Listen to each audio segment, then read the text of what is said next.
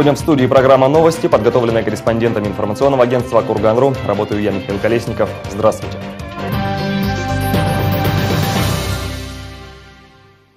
1 июня праздничные мероприятия, посвященные Международному дню защиты детей, прошли во всех муниципальных образованиях Курганской области. Для юных зауральцев подготовили акции, игровые программы, спектакли, киносеансы, концерты, выставки и мастер-классы. Комплекс мероприятий под общим названием «Калейдоскоп детских улыбок» запланирован в рамках шестой всероссийской акции «Добровольцы детям». В поздравлении с Международным днем защиты детей губернатор Алексей Кокорин отметил, что этот праздник – повод напомнить взрослым об ответственности за судьбу юного поколения, о том, что дети требуют постоянной заботы и внимания. Также 1 июня в регионе прошли горячие телефонные линии. В Департаменте образования и науки Курганской области с 10 до 12 часов работали 4 телефона. Юные зауральцы, их родители и опекуны могли задать вопросы, касающиеся дошкольного и общего образования, все о дополнительном образовании, о том, как в регионе организуется отдых и оздоровление детей, получить консультацию по иным правовым вопросам.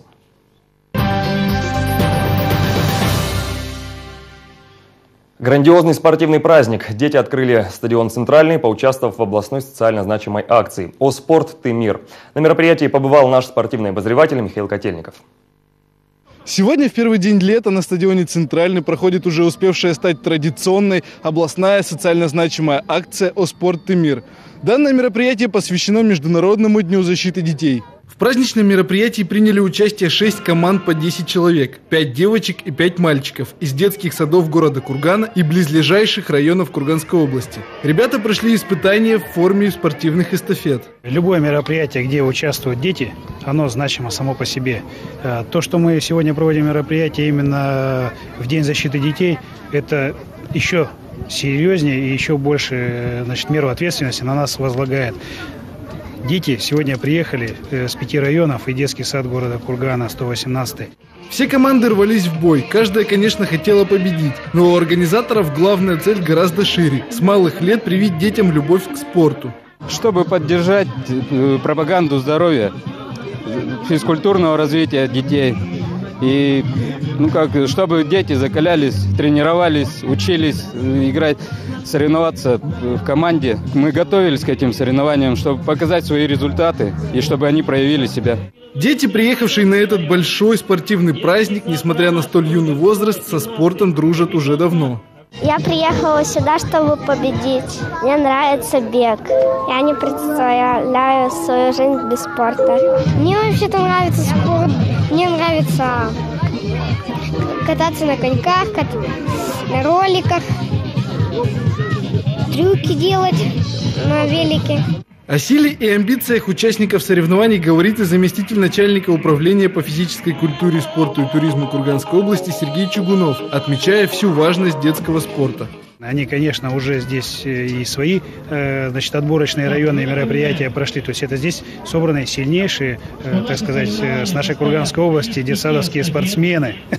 То есть сейчас у нас уже спорт, он все молодеет и молодеет. И это на самом деле, то есть по сегодняшним мероприятиям мы увидим, как они будут проходить, ребята, значит, эти эстафеты. Это будет очень достойно. Я думаю, если нам выставить команду каких-то хороших спортсменов, то они еще и побьются, так сказать, с ними и окажут достойное сопротивление зрения. Примечателен и тот факт, что дети фактически открыли прошедший реконструкцию стадион «Центральный», выйдя на совсем еще новенькие недавно установленные беговые дорожки. Мы ежегодно проводим областную социально значимую акцию э, «У спорт и мир», Э, среди веселых стартов, по программе веселых стартов среди детских садиков. И в этом году не могли просто не использовать такую возможность э, провести ее на центральном стадионе. Это тот объект, который э, в прошлом году был отремонтирован. И вот действительно это первые, скажем так, значимые соревнования, которые мы проводим на нем. На мероприятии присутствовала и уполномоченный при губернаторе Курганской области по правам ребенка Алена Лопатина. Она поблагодарила организаторов спортивного праздника и отметила важность соревнований для детей. У наших детей дела замечательно, потому что наши взрослые очень внимательно думают о том, а, как э, создать безопасные условия для детей, как создать комфортные условия для детей и, конечно, как создать условия для развития детей. Вот сегодня мы видим замечательную обстановку а, веселых стартов. Как будто бы дети веселятся, это праздник, это здорово. Но сколько труда взрослые а, приложили к тому, чтобы сегодняшний праздник состоялся. По итогам соревнований победителям вручили кубки, медали и грамоты. Также все команды-участники получили грамоты, медали, сладкие призы и заряд позитивного настроения. Михаил Котельников, Дмитрий Тихонов, Лидия Кайгородцева, информационное агентство Курганру. Губернатор Алексей Кокорин работает в Санкт-Петербурге, где принимает участие в 21-м Петербургском международном экономическом форуме, который проходит в северной столице с 1 по 3 июня. Плане рабочей поездки губернатора ряд мероприятий, основное из которых пленарное заседание, где запланировано выступление президента РФ Владимира Путина и лидеров иностранных государств. Также ожидается, что Алексей Кокорин примет участие в презентации результатов полномасштабного внедрения национального рейтинга состояния инвестиционного климата в субъектах Российской Федерации. Презентацию проводит Агентство стратегических инициатив по продвижению новых проектов совместно с ведущими российскими общественными организациями. Помимо этого планируется подписание ряда соглашений с регионами России и российскими компаниями и деловые встречи. Напомним, Петербургский международный экономический форум – главный ежегодный экономический саммит России и стран СНГ «Русский Давос». Организатором его является Министерство экономического развития Российской Федерации. Первый форум состоялся в 1997 году. Более подробно об итогах работы Алексея Кокорина на форуме мы расскажем в понедельник, 5 июня.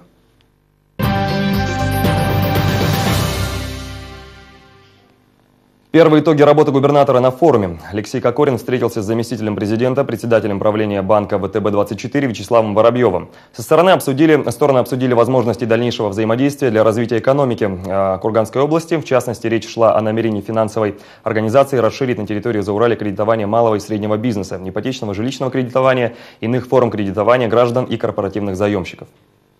В свою очередь Вячеслав Воробьев рассказал Алексею Кокорину о предпринимаемых шагах по развитию банка на финансовом рынке Курганской области.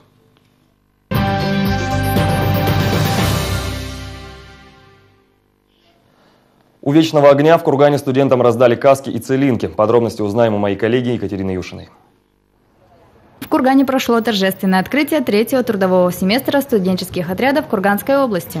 В этом году в отрядах за Урале будут трудиться более двух тысяч юношей и девушек. География трудовой деятельности с каждым годом расширяется. Появляются новые всероссийские стройки, осваиваются новые специальности, привлекаются новые деловые партнеры. Студенческие отряды активно участвуют в экономической жизни страны. А, не все, естественно, студенческие отряды остаются в Курганской области. Они очень много выезжают. Это, в первую очередь, и север, значит, это и Малонецкий, Ханты-Мансийский автономный округ. Это и а, Краснодарский край с их а, рекреационными зонами, с лагерями, где работают наши ребята. Это и отряды проводников, которые работают по всей стране практически. Студенческие отряды помогают зарекомендовать себя, воплотить идеи, провести лето интересно и продуктивно. Они планируют работать по пяти основным направлениям – строительное, педагогическое, сервисное, сельскохозяйственное, а также в отрядах проводников пассажирских поездов. Сначала, когда я пришел в студенческий отряд, э, шел целенаправленно попробовать себя в роли проводника. Э, прошел очень серьезное обучение, которое длилось несколько месяцев, э, сдал экзамен. Вот. Ну и непосредственно поехал. В первые рейсы, конечно, работа казалась сложной. А, это все равно ответственность за пассажиров, которых ты везешь, за жизнь и здоровье людей. Уже несколько лет подряд ребята реализуют акцию «Имена героев», в рамках которой отряды помогают ветеранам Великой Отечественной войны, делают ремонт квартир пожилым людям, проводят субботники. Во время открытия представители студенческих отрядов возложили цветы к вечному огню, а также к памятнику Героя Советского Союза генералу-полковнику Михаилу Степановичу Шумилову. Также новобранцы прошли обряд посвящения в ряды студенческих отрядов и получили символику основных направлений. Командиру педагогического отряда вручили галстук движения педагогического отряда Курганской области и бойцовку. Командир строительного отряда получил каску и целинку. Комиссару отряда проводников вручили сигнальные флажки и строевку. Екатерина Юшина, Владислав Базелев, Лидия Кайгородцева, информационное агентство Курган.ру. В ближайшее время в Зауралье развернется народное голосование за презентационные проекты муниципальных образований, в которых они должны представить наиболее привлекательные и сильные стороны своих территорий для инвесторов. Это голосование пройдет в рамках конкурса «Зауралье. Территория для комфортного проживания и успешного ведения бизнеса», который стартовал 24 апреля. Он проводится среди районов и городских округов Курганской области, и каждое муниципальное образование представит своеобразный видеопродукт о себе – видеоролик. 15 июня в Шадринске состоится просмотр презентации и подведение подведения итогов конкурса по следующим номинациям. Стратегия на успех, оригинальность идеи, самая инновационная презентация, лучшая площадка для ведения бизнеса и успешная муниципальная инициатива. Организатором конкурса выступил Департамент экономического развития.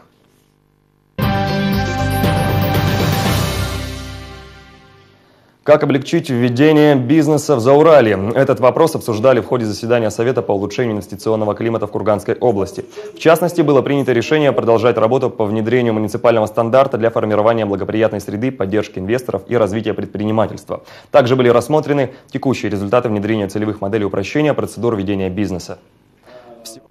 Выполнение всех целевых моделей – одна из основных и актуальных для нас с вами всех задач. Нами проделан определенный объем работы за истекшее время по внедрению целевых моделей. За 4 месяца общее выполнение всех целевых моделей составило 62%. Всего выбрано 12 направлений целевых моделей, например, выдача разрешений на строительство, подключение к электросетям, поддержка малого и среднего бизнеса и другие. За каждым из них закреплены а, ответственные из числа членов правительства области.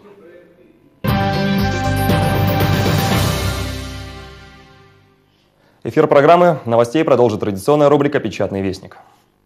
В ближайшее время в Зауралье развернется народное голосование за презентационные проекты муниципальных образований, в которых они должны представить наиболее привлекательные и сильные стороны своих территорий для инвесторов.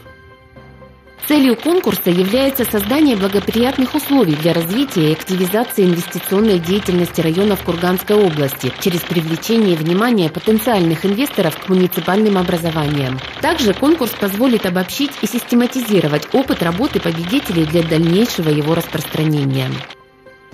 С начала июня в Курганской области стартует летняя оздоровительная кампания. Всего на отдых и оздоровление детей в Зауралье будет выделено 243,6 миллионов рублей из областного бюджета и 24,6 миллиона рублей из федерального.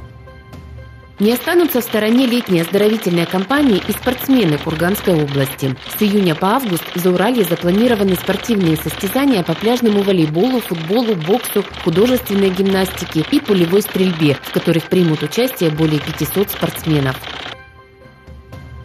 В селе Белозерском 29 мая прошли районные соревнования на встречу ГТО в рамках единого дня профилактики среди подростков в возрасте 9-17 лет, состоящих на учете в подразделениях по делам несовершеннолетних, воспитывающихся в семьях, находящихся в трудной жизненной ситуации, находящихся на внутришкольном учете. Организаторы из секторов молодежной политики, спорта и туризма администрации Белозерского района, отдела образования и муниципального центра тестирования ВФСК ГТО увлекли 30 мальчишек и девчонок, которые попробовали свои силы в подтягивании, упражнениях на гибкость, прыжках в длину, поднимании туловища из положения лежа на спине.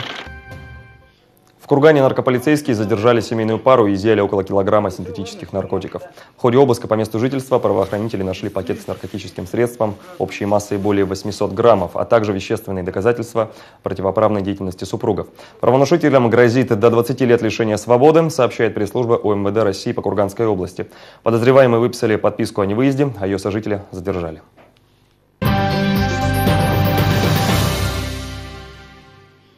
Престиж работников сельского хозяйства должен расти, твердо уверен руководитель ЗАО «Картофель» Александр Немиров. У сельскохозяйственного предприятия сейчас а, ответственное время. А в Заурале завершаются весенне-полевые работы. ЗАО «Картофель» – одно из крупнейших производителей овощной продукции в Зауральском федеральном округе. В настоящее время уже полностью закончена посадка лука, моркови и свеклы. На 100% посеян картофель, на 50% капуста. Приступили к посадке свеклы. Из 6 тысяч гектаров посевных площадей 800 гектаров оборудованы поливальными машинами. Со всеми крупными российскими торговыми сетями заключены договоры на поставку продукции. Посадка производится таким образом, чтобы был конвейер. В июле месяце мы уже будем поставлять э, значит, э, в торговлю значит, э, морковь мытую, свеклу, капусту, картофель. То есть весь, весь набор овощей для того, чтобы Значит, во-первых, у нас продукция дешевле, она выращена в экологически чистых условиях, значит, качество нормально. Ну и, ну, если так образно сказать, ну, народ-то кормить надо. Аграрии за Урале засели 988 тысяч гектаров. Это 74,3% к плану. Такие данные озвучил 29 мая первый заместитель губернатора Курганской области, директор департамента агропромышленного комплекса Сергей Пугин на заседании регионального правительства. Он проинформировал, что посевная идет организованно и массово. Он также подчеркнул, что в планах аграриев довести процент кондиционных семян из всех высеиваемых до 84. Напомним, семена являются кондиционными, если соответствуют всем стандартам стандартам качества. Александр Немиров уверен, престиж работников сельского хозяйства должен расти. В ЗАО «Картофель» делается все, чтобы у его работников были достойные условия труда и жизни. В хозяйстве высокая механизация производства. Здесь постоянно думают о модернизации. Кроме того, постоянные сотрудники обеспечены бесплатными обедами и ужинами. Для специалистов строится жилье. Только за последнее время было сдано в эксплуатацию два двухквартирных дома. Местная школа круглогодично обеспечивается бесплатными овощами для школьной столовой. Мы живем в селе. У нас неплохая средняя школа. Там учатся дети наших сотрудников, наших рабочих. Поэтому для того, чтобы был нормальный обед, мы значит, вот на протяжении многих лет бесплатно, значит, бесплатно отпускаем туда картофель, овощи, для того, чтобы ну, могли нормально, хорошо покушать. Предприятие поддержало и новое направление – агрообразование. Старшеклассники приходят на экскурсии, изучают производство, другие отрасли сельского хозяйства, технику. Александр Немиров надеется, что кто-то из них выберет крестьянский труд своей профессией. Той же целью тесное сотрудничество сложилось у ЗАО «Картофель» с Курганской сельскохозяйственной академией имени Мальцева. Студенты проходят здесь практикум, набираются опытом, проводят научные эксперименты, на основе которых защищают дипломные работы. В настоящее время на посадке капусты работает студент Алексей Степанов, который считает, что все сельскохозяйственные предприятия в Заурале должны стремиться к уровню ЗАО «Картофель» и надеется продолжить свою профессиональную деятельность именно здесь. Сейчас я на капусте в основном. Сеем капусту в ангаре. Вот таскаем на поля, увозят их в машинах. Ну, также вытаскиваем из парилок в теплице, высе, высеянные недавно. Они дня два стоят в парилке, сначала день-два, чтобы быстрее прорастали, а потом выносим в теплицы. Ухудшение погоды на этой неделе создаст для сельхозтоваропроизводителей дополнительные трудности. Однако, несмотря на все сложности, Департамент агропромышленного комплекса и сами аграрии проводят большую работу. Есть все возможности в полном объеме и в срок выполнить яровой сев. Василий Сысуев, Светлана Епифанова, Дмитрий Тихонов, Александр Немков, информационное агентство «Курган.ру». В Кургане произошло крупное событие в культурной жизни города. Обновленный зал городского дома культуры имени Горького открыл свои двери для курганцев. Подробности прямо сейчас. Городской дом культуры имени Горького в Кургане переживает второе рождение. Накануне жители областного центра смогли увидеть обновленный после ремонта концертный зал. Самое главное, что сегодня вообще в отрасли культуры одно большое значимое событие. Мы вернули ДК Горького его стопроцентную мощность, которая сегодня станет центром притяжения наших горожан. И я думаю, сегодня даже можно посмотреть в зале люди разных возрастов, э, разных профессий, но все те, кому необходимо только общение, общение, культурное общение, посмотреть на своих детей, посмотреть на чужих детей, порадоваться за те успехи, которые наши ребятишки достигают на, во всех, на всех площадках, на начиная от городских и заканчивая международными. Ремонт Дома культуры проводился по поручению президента России Владимира Путина. Ремонт Дома культуры, он, естественно, проходил под контролем аппарата полномочного представителя. Было поручение, и те поручения и указы, которые президент Российской Федерации в 2012 году подписал, они все направлены на развитие регионов, на обеспечение жизнедеятельности, улучшение жизнедеятельности людей, на улучшение качества жизни. И в рамках э, этого указа и поручения все выполнялось. Обновленный актовый зал теперь сможет вмещать в себя порядка 500 человек. Сегодня у нас очень счастливый, радостный, очень волнительный день, потому что к этому дню мы шли долгих 18 лет. Э, зал, не, э, зал был в аварийном состоянии, бежала крыша. Мы сначала отремонтировали кровлю, потом мы ремонтировали зал. Вот целый год мы занимались ремонтом зала. У нас в зале абсолютно все новое. Крыша, пол, потолок, э, стены и, конечно же, мягкие, удобные кресла. Отметим, сейчас в Доме культуры работают 28 кружков, студий и клубов по интересам. Их посещают порядка одной тысячи человек. Например, на базе ДК работают студия эстрадного вокала Доми Солька и студия современной хореографии Варнел. Школа наша существует на протяжении пяти лет, и, естественно, на этом протяжении пяти лет мы занимаемся именно здесь. И возможность выйти на сцену получилась только в этом году. Естественно, вот когда есть открытие нашего, нашей сцены. А, школа ну, развивается. Участников. Планируем и больше. Обновленный зал понравился не только артистам, но и курганцам. Ну, во-первых, я поздравляю всех работников э, ДК Горького, потому что, во-первых, когда я вошел в зал, это конечно, что-то э, удивительное, впечатляющее и большое театральное удивление. Это большая радость, когда все старое не забывается, не разрушается, а перевоплощается в очень хорошее, новое. И самое главное, что все люди, которые этого ждали, дождались. Дом культуры имени Горького ждет дальнейшее преображение. Он должен получить новый фасад и крыльцо для того, чтобы приобщиться к культуре могли все, в том числе и маломобильные группы населения Кургана. Василий Сысуев, Александр Киселев, Лидия Кайгородцева, информационное агентство «Курган.ру». Первый день лета, день начала долгих каникул, а также Международный день защиты детей – все это относится к 1 июня. Как его отмечают курганцы, узнаем из сюжета. История возникновения детского праздника началась в 1949 году. В Париже на женском конгрессе подняли вопрос о защите всех обездоленных детей. И уже в следующем году, 1 июня, впервые был проведен праздник, посвященный этому вопросу. Многие страны подхватили эту традицию и с тех пор Международный день защиты детей отмечают по всему миру.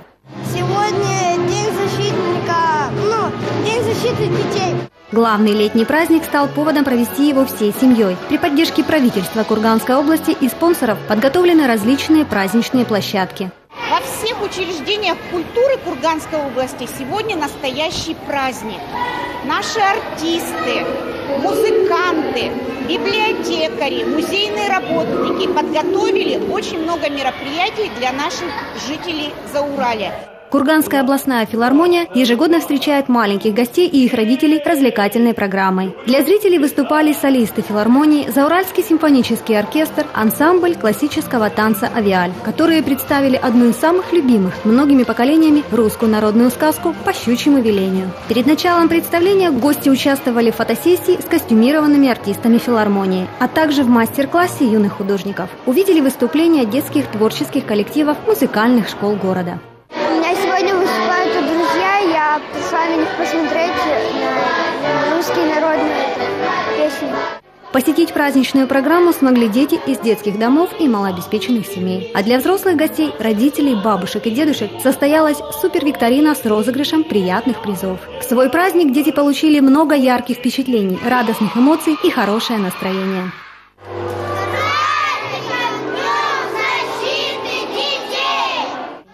Жанна Карманова, Владислав Базылев, Александр Янков, информационное агентство «Курган.ру». 1 июня отмечается День защиты детей. Этот день должен дать мамам и папам повод задуматься, что смотрит ребенок по телевизору, когда он один дома. Обезопасить детский просмотр от нежелательных передач помогает интерактивное телевидение Ростелекома и функция «Родительский контроль». Школьница Настя на каникулах остается под присмотром бабушки, но пожилая женщина весь день хлопочет по хозяйству и следить за тем, что внучка смотрит по телевизору, ей особо некогда. Поэтому мама Насти постоянно пользуется функцией родительский контроль. Она доступна пользователям интерактивного телевидения от Ростелеком. Пара щелчков пультом, и дети защищены от просмотра того, что им видеть пока не положено. Ну, с этой функцией очень удобно. У меня есть дети, их двое. Данной функцией я могу ограничить просмотр нежелательного контента. То есть они только смотрят то, что им полезно и нужно. Полезно, нужно и безопасно. Это мультфильмы, каналы, где обучают английскому языку, фильмы о природе. Впрочем, это все то, что нравится и самим детям. Я люблю смотреть про путешествия, про природу и познавательные каналы. Родительский контроль э, есть разные уровни. 3 плюс, 6 плюс, 12 плюс, 16 плюс, 18 плюс. То есть э, все фильмы, они так или иначе маркированы вот этим вот э, возрастным профилем. И если вы хотите оградить своего ребенка, и вы при включенном пин-коде э, устанавливаете вот этот возрастной профиль, то вы можете быть уверены, что ребенку не покажут фильмы из неразрешенного возрастного профиля. Функция «Родительский контроль» позволяет ограничить просмотр и по времени, например, с 12 до 2 часов дня. Блокировка работает как по телеканалам, так и по отдельным фильмам из видеотеки Ростелекома. Функция бесплатна и доступна всем пользователям интерактивного телевидения. На этом наша программа подошла к концу, но переключаться рано. Впереди для вас мы подготовили информацию, предоставленную нашими рекламодателями и прогноз погоды. Я с вами прощаюсь. До скорой встречи.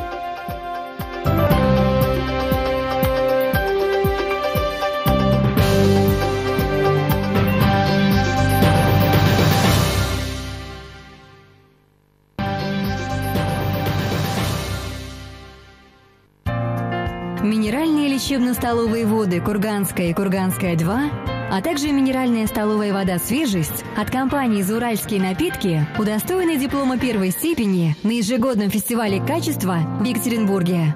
Хочу кухню, хочу кухню, хочу кухню! Интернет-магазин Столплит представляет Акция «Хочу кухню». Только до 31 июля сделайте любой заказ и станьте участником розыгрыша новой кухни. Столплит. Желание становится ближе. Встречайте новый Теле7. Читайте в новом номере журнала Теле7. Как начать новую жизнь после 40? Лунный календарь красоты на июнь. Как выбрать правильный купальник? Новый номер Теле7 в продаже со среды 31 мая. Покупайте Теле7 в супермаркетах Метрополис, Магнит и в сети магазинов «Лето».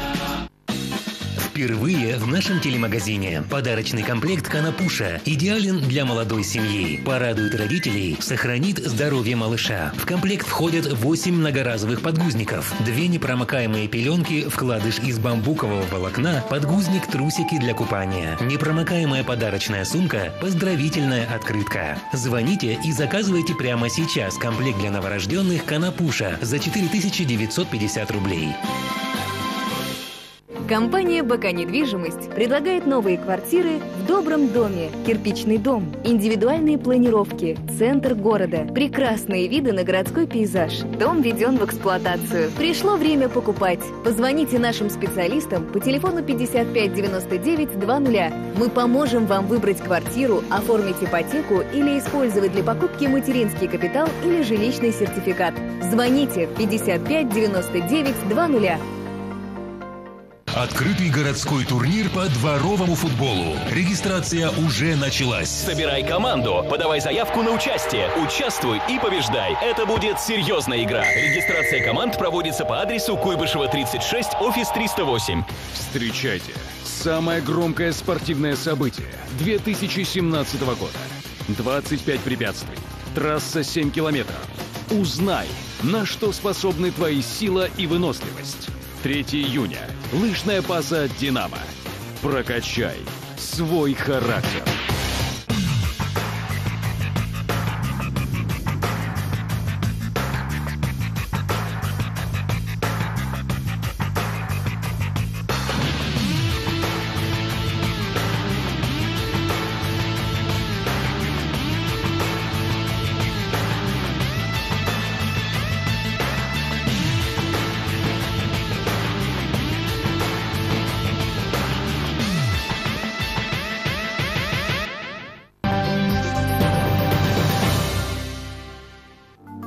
Здравствуйте! С прогнозом погоды вас знакомит Карманова Жанна.